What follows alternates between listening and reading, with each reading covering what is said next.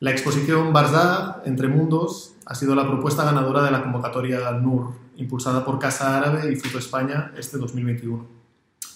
On a construit notre démarche curatoriale à partir des œuvres et des réflexions d'Ibn Arabi. Pour lui, euh, représente euh, cette mémoire euh, intangible qui laisse place à l'imaginaire.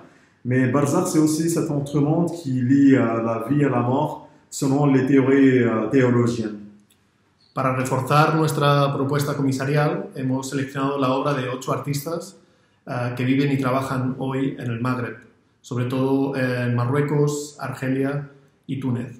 Asimismo, uh, queríamos rendir un sentido homenaje a Tony Serra, a Ali, que nos dejó en 2019 y del cual hemos seleccionado una de sus obras de 2010, Al-Barzakh, uh, ya que este concepto formaba parte de toda su trayectoria artística.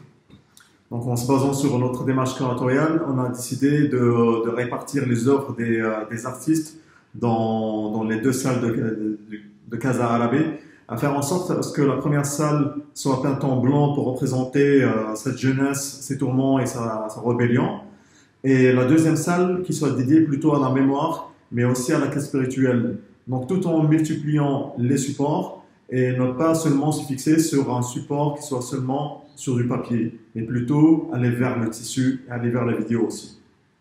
Para nosotros era sumamente importante uh, destacar el trabajo que realizan hoy diferentes colectivos y entidades en la región. Y es por eso que hemos querido invitar a formar parte de este proyecto a colectivos como COS Collective, uh, que está en Marruecos, el colectivo 220 en Argelia, y espacios o instituciones como Rhizome en Argel o la Maison de l'Image en Túnez. Donc Barzakh se veut comme une sorte d'ode à, à, la jeunesse euh, maghrébine, mais en même temps c'est aussi un état des lieux par rapport à cette jeunesse-là euh, dans ces territoires-là aussi.